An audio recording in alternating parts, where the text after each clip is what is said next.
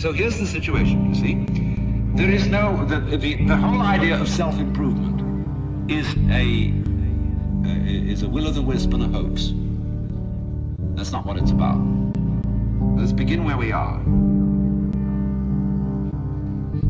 What happens if you know, if you know beyond any shadow of doubt that there is nothing you can do to be better? It's kind of a relief, isn't it? Now, you say, well, now what will I do?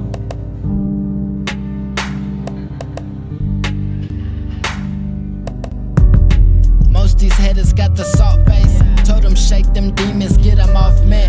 But I see my babies in a raw red. When I kiss my Layla, it be softly. Gently talking, dashing to his own pace. It's a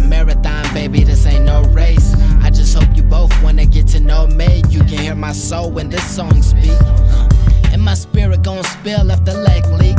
They may make them like you, but can't make me.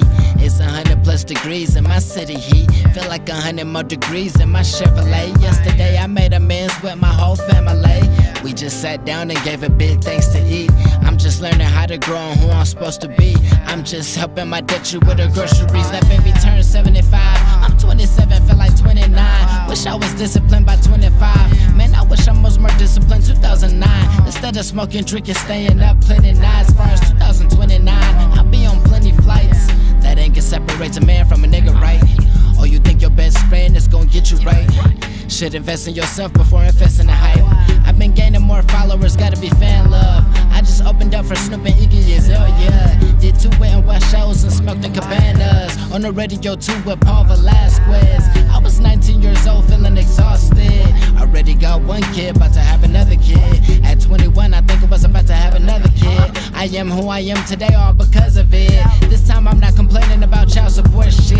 I'm 27 years old, staying at my Dutchie crib. I could barely afford insurance on my only whip.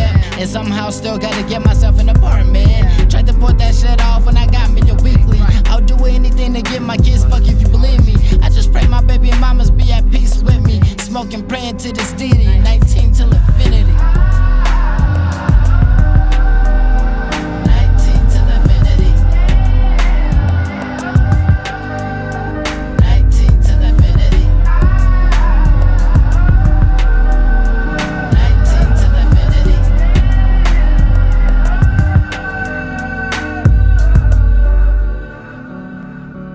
How can you judge, for example, whether a psychotherapist is effective or just a charlatan? How can you judge whether a guru is himself spiritually wise or merely a good chatterbox? And how are you competent to judge? You may say, for example, I believe that the Bible is the Word of God. All right, that's your opinion. I know the Bible says it's the Word of God, but it's your opinion that the Bible is not lying. The church says the Bible is the Word of God, but it's your opinion that the church is right.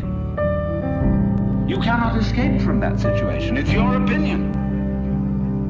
So you see, when you select an authority who will help you to improve yourself, it's like hiring the police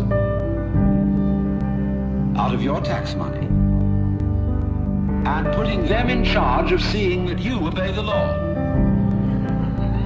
Mean, can't you take care of yourselves?